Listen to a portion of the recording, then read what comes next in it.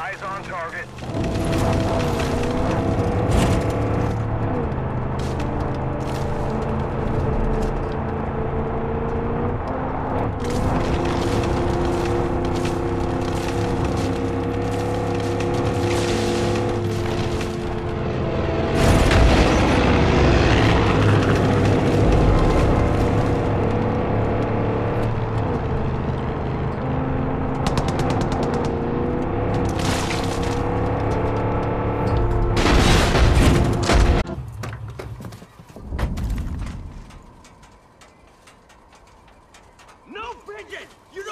No Bridget? Maggots! Hear me? You people are the same as maggots! You serving papers? If so, I, I'm not in charge. Whoa, wait, you're new.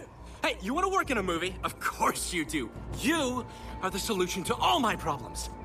Classic tale. A small town nobody, you, arrives just in time to save world renowned auteur, Guy Marvel, yours truly.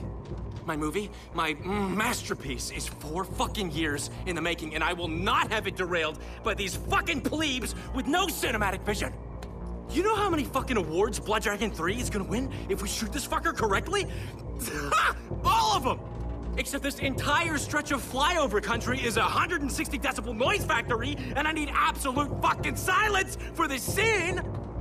Be the hero, big shot. My first AD will fill you in. I need to contemplate my own genius for a bit.